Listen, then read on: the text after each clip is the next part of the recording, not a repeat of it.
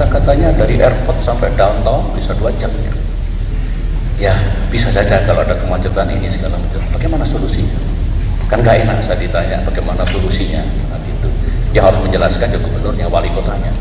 Begini Pak. Itulah kritik pedas yang disampaikan Presiden SBY saat menerima sejumlah perwakilan Kamar Dagang Indonesia di Istana Bogor beberapa waktu lalu.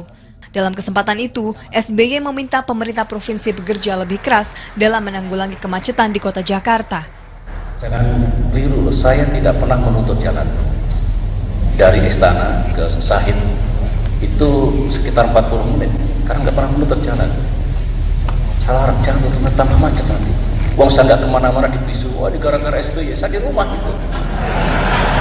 Memberikan kemudahan-kemudahan. Presiden menyebutkan peran pemerintah pusat untuk menanggulangi sejumlah masalah sosial di daerah hanya memiliki porsi yang kecil, sedangkan peran yang lebih besar terletak pada pejabat daerah.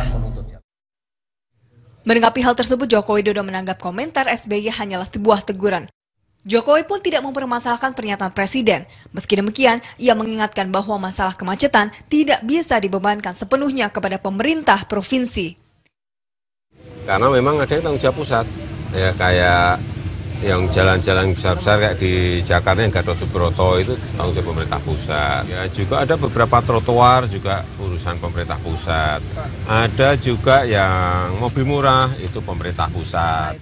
Kecaman cukup keras yang dilontarkan SBY mendapat komentar beragam dari masyarakat. Meski warga mengerti maksud SBY, namun mereka tetap menyayangkan pernyataan Presiden. Hanya urusan Jokowi enggak ya? Masa harus dibebanin sama satu orang itu aja? Nah, sebagai kepala negara itu nggak bisa lepas tangan begitu aja. Walaupun uh, Jokowi itu sebagai uh, gubernur DKI Jakarta, uh, seharusnya sih nggak saling menyalahkan ya, karena kalau kepentingan buat kepentingan bersama, semestinya dirembukin sama-sama kali ya. Jadi uh, sebaiknya kalau para pemimpin nih benar-benar diusahain bareng-bareng supaya dapat solusinya aja. Urusan kemacetan di ibu kota memang bukan perkara mudah untuk diselesaikan.